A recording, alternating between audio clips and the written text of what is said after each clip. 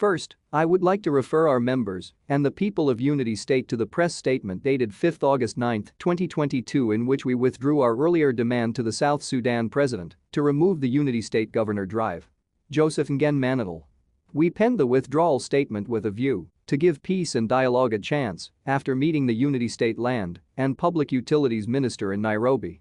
The withdrawal letter received an avalanche of protests and criticisms from the members of Liech community around the world. There was no single response or reply commending the withdrawal. They are insisting that our initial position and pressure on the South Sudan president should be maintained until Governor Manytuil is sacked. More importantly, the reactions we received over our withdrawal letter show or demonstrate to us that the Liech Community Association in Kenya is the voice and the eye of the people of the unity state around the world. Therefore, I write to assure them that their legitimate concern is heard and respected they say the voice of the people is the voice of God, and who are we not to adhere to the will of God? Hence, we must maintain our position and pressure for Governor Manytuil to be removed. Following these reactions, we shall communicate that the press statement be pulled down from the internet forthwith. Second, we witnessed with disgust the extrajudicial killings of four innocent people by Governor Manytuil in Mayom County.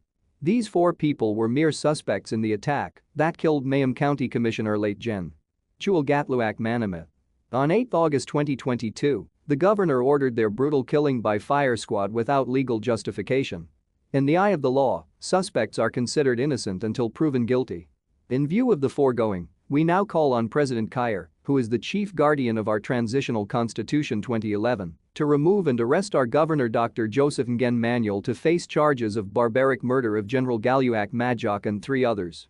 From the photos and video clips that we saw circulating on social media, General Gatluak Majok's hands and legs were tied before he was burnt inside the house by soldiers belonging to the South Sudan People Defense Forces SSPDF. Signed by Dak Buoth, Chairman, Liech Community Association in Kenya.